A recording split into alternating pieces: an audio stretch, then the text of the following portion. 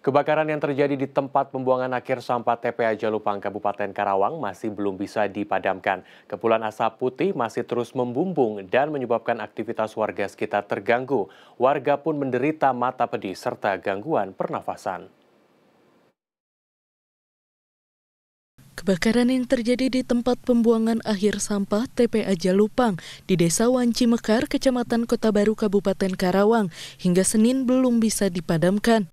Api yang masih menyala di bagian dalam gunungan sampah mengakibatkan kepulan asap tebal berwarna putih.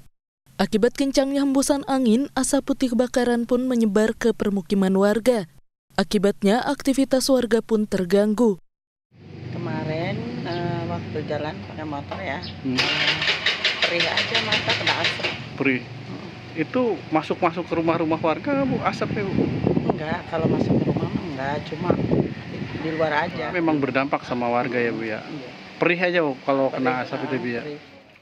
Untuk membantu meringankan warga yang terdampak asap kebakaran, Polres Karawang dan Polsek Kota Baru membagikan masker kepada warga.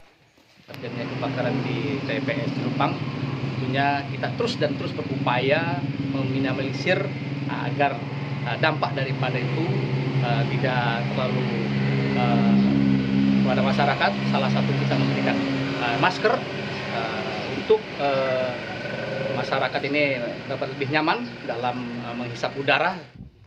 Setidaknya ada tiga desa yang terdampak kabut asap akibat kebakaran TPA Jalupang. Desa yang merasakan dampak paling parah adalah Desa Wanci Mekar. Pemerintah Kecamatan Kota Baru juga mendirikan posko pengaduan bagi masyarakat yang mengalami gangguan kesehatan. Tariana, Kabupaten Karawang.